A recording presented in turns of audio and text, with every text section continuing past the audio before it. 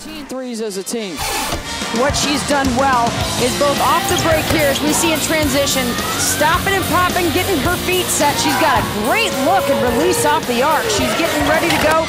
Hey, she can credit or give a lot of credit to uh, Shantia Grace. Grace has got 10 assists on the day, so she's hooking her up with uh, some dimes. But Jazmine Sepulveda, you know, against the zone, she's moving. South Florida 15 points here in the second half.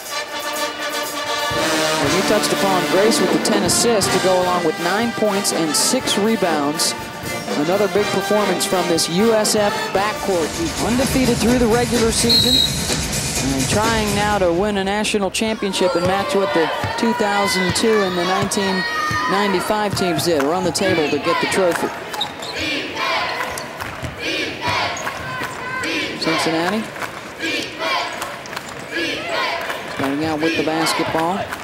Sanders, Roudebush, Morgan, Schuster, and Stevens. And Roudebush misses on that shot. Out to Sepulveda off the rebound from Lawson.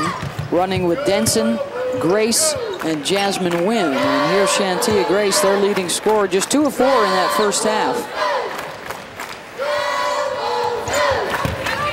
Pounding it inside where they've had some success, Jessica Lawson. Jessica Lawson. Lawson just two points in the first half, and she's got to make a bigger presence come the second half. And give a lot of credit to Jill Stevens for her ability to play just as physical when that was something that Jamelle Elliott was very concerned about, those post players for South Florida. Foul on the backdoor cut will go against the Bulls. That's going to be on Denson. That will be her first. That'll send Val Schuster to the line. 75% free throw shooter, the freshman from Wausau, Wisconsin. Looking for her first points today.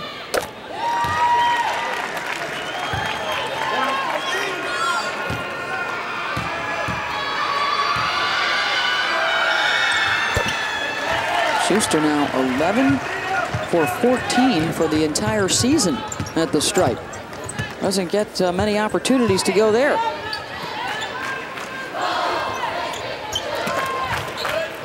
Early second half. The Bulls playing to pad that NCAA tournament resume and make an even stronger argument. They're under consideration, possibly to be the eighth team from the Big East tournament, uh, from the Big East to go. And Sepulveda knocks down another triple. That's seven on the day for USF.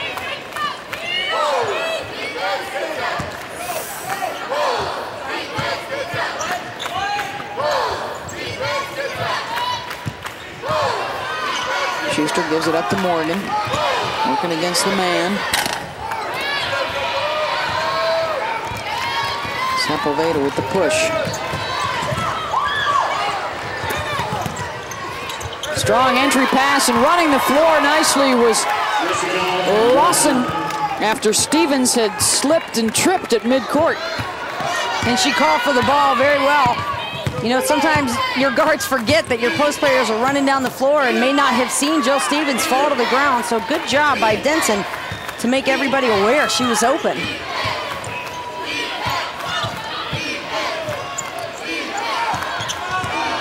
Roudebush. USF got lucky there. Wynn did not go over the top of the screen, and Roudebush had the open look. Roudebush needs to be careful that she doesn't try and force points to keep her team in this game. She did a great job in the first half of staying balanced and creating shots both off her ability to get open for her teammates and then with those three steals, she got her own offense going.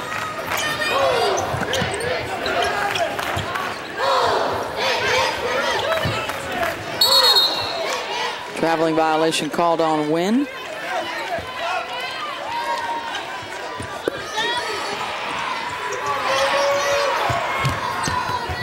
Full court pressure now with Wynn trying to harass Sanders. That will switch off Sepulveda to go back on Roudebush now defensively.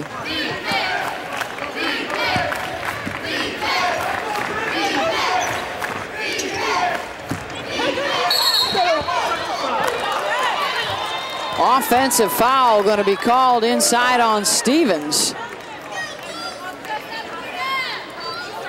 Called for using that elbow to hook the defender. That's second.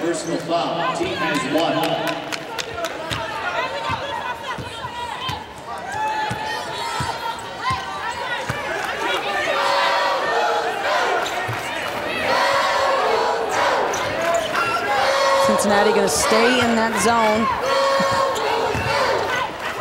Looks like they're using a 1-3-1 to keep South Florida out of the middle, but that leaves you open for three-point shots. And there is one right there from Jasmine Wynn, just a 16% three-point shooter, but finds the range there. Just her seventh triple of the year. And that is now eight on the day. The three-point shot is very contagious. If you've got a couple kids on your team making the shot, it makes you feel good about taking it, and vice versa. And today's one of those days for South Florida that they feel good releasing that shot. Roudebush elevates over Lawson to knock down the pull-up. Quick timeout here by Cincinnati at the 16-minute mark to go. 42-35, USF on top.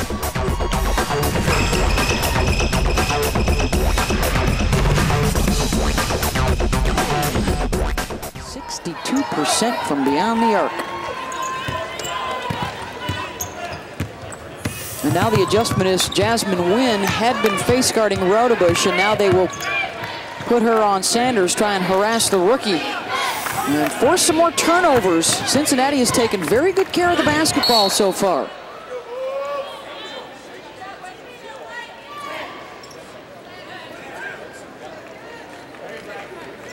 Roudebush throw to rise. Look at that, the Bearcats have only given it up five times today. Against one of the top teams in the country, USF, in terms of turnover margin. Going to be a whistle off the ball here on the foul on uh, the Bulls. A big adjustment from last night when they had 22 against Marquette.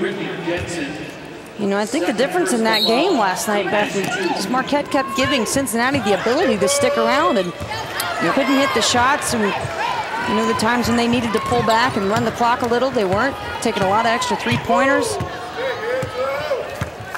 There's the unforced turnover right there.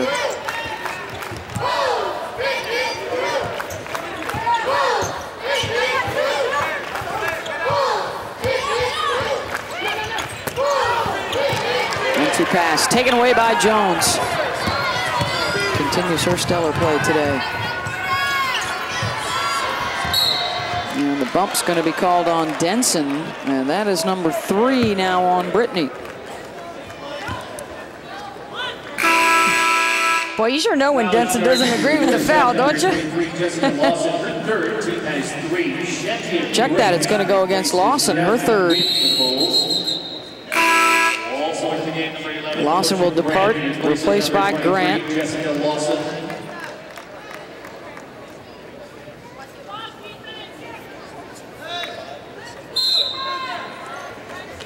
Rowdy will stand down here with a fresh 30. Stokes got the tip of it, so Morgan can track it down, or win rather.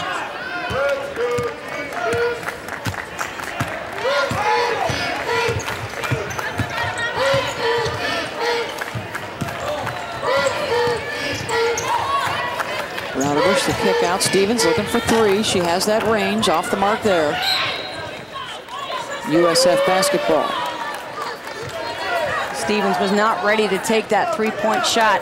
I'm not sure she expected the pass from Roudebush, but good job by Kayla to recognize the triple team, and there wasn't much she could do against those bigs.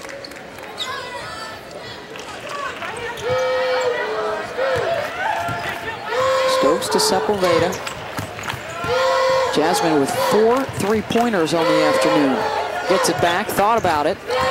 Number 10 on the shot.